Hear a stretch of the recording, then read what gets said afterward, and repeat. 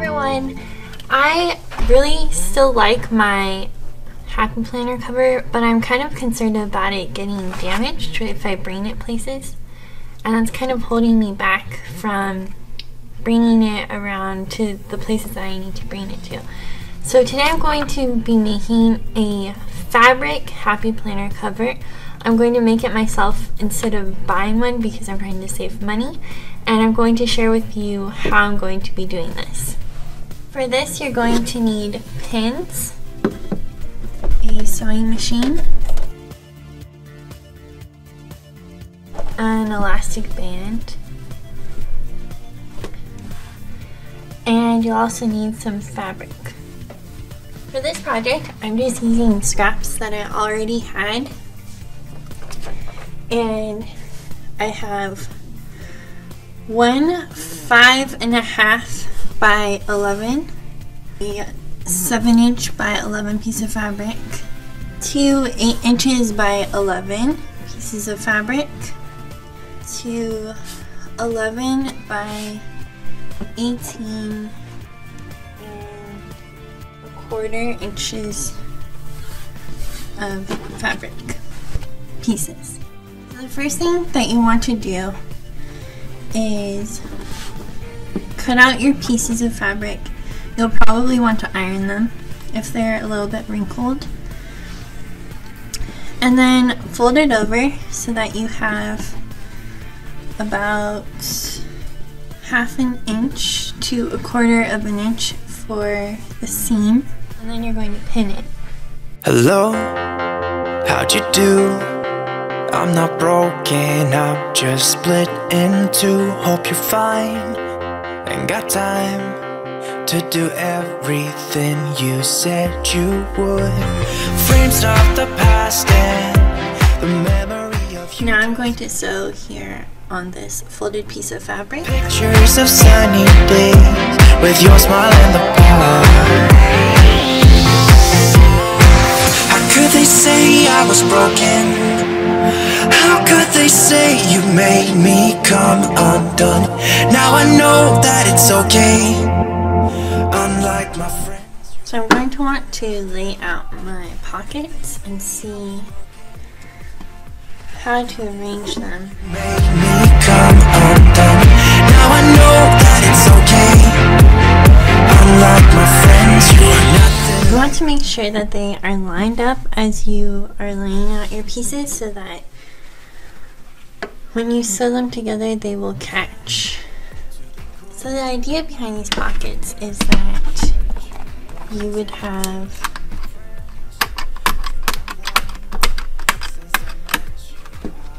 two covers so I'm going to be using the back cover for my happy planner and then I also have an additional cover to kind of make this sturdier and I'll just slip in here and then slip into this part.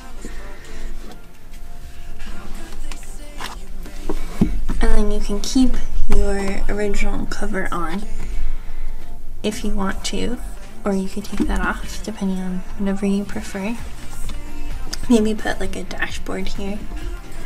But this is the two additional covers though are to just keep the fabric cover sturdier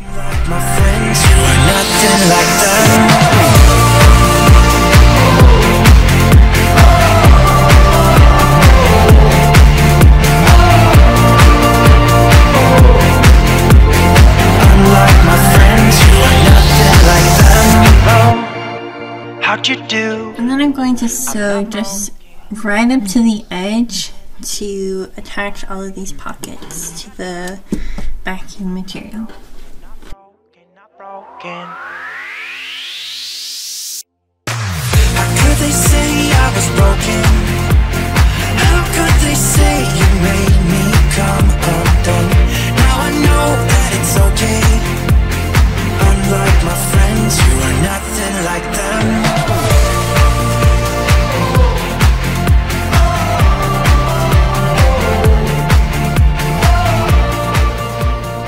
once you have made sure that all of your pockets are secure, they've been caught by the needle, you can place the cover facing upward and your pockets facing downward.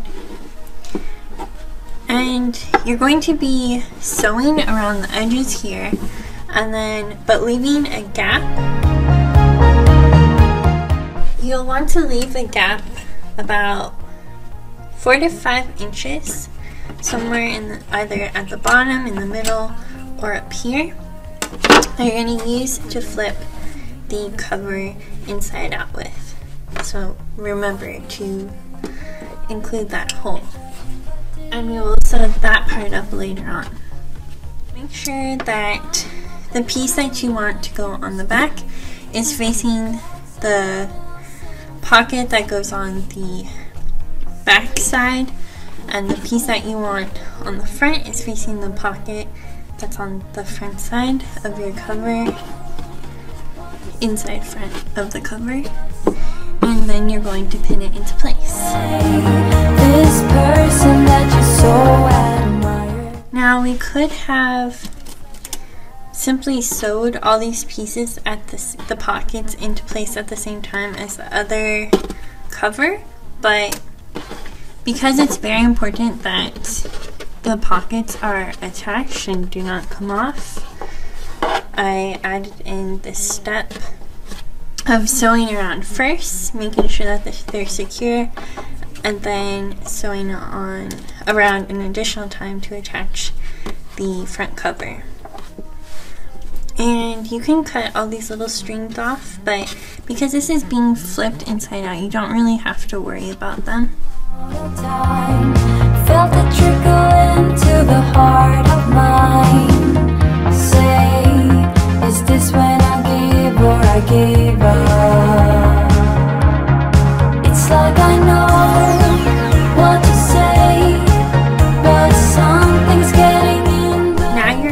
to turn your planner cover inside out. You left a 5 inch gap here down at the bottom, so you can easily just go through and pull it through to the other side.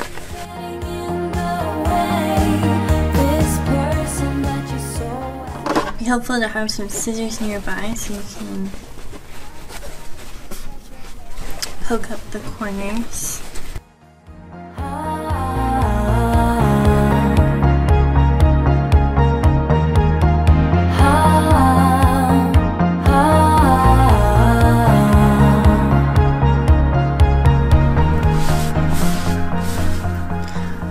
Gap on the bottom here because I'm going to need to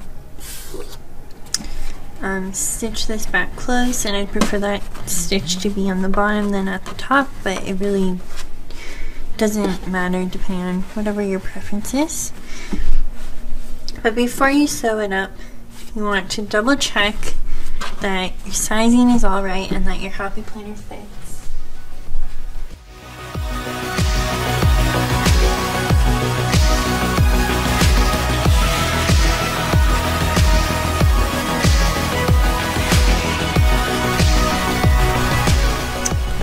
And now you're ready to place your planner into the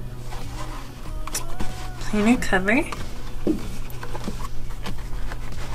So first I'm sliding in my cover into this pocket.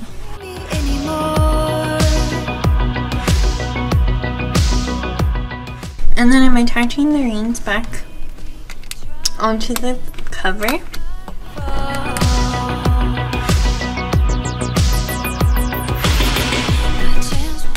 And then to keep it close, I have this little piece of elastic with a flower hot glued onto where the knot is to keep the cover closed.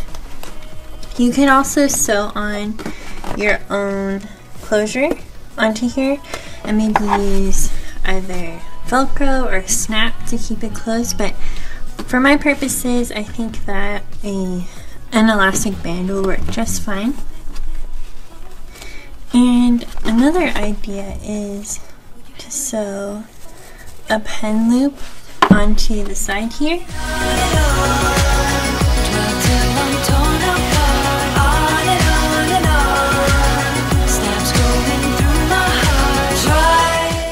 So after you place your planner into your planner cover, you can use these pockets on the side to store things like your extra planner stickers. You can put post-it notes in here. And then you can store your elastic band on the side here when your planner cover is over. So I hope this video gave you some ideas for maybe a gift idea for a friend who likes to plan or for your own planner to protect the cover from getting damaged. If you'd like to see more planner ideas, please check out my Instagram at personalize my planner and I'll see you next Saturday. Bye!